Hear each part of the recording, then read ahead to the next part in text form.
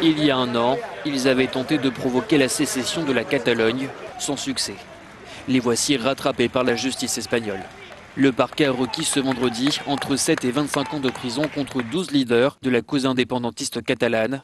Ils seront prochainement traduits devant les tribunaux de Madrid. C'est l'ancien vice-président et conseiller économique de la Généralité, Oriol Junqueras, qui pourrait écoper de la peine la plus lourde. 25 ans de prison ont été requis à son encontre. Jordi Sanchez et Jordi Cuichar, deux autres figures de la sécession catalane, quant à eux, risquent jusqu'à 17 ans de prison. Pour les magistrats, les indépendantistes étaient prêts à utiliser tous les moyens nécessaires pour atteindre leur objectif, y compris la violence.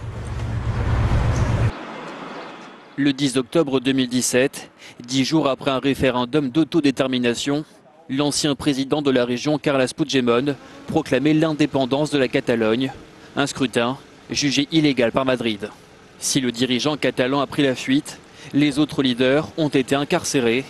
Leur procès devrait s'ouvrir début 2019.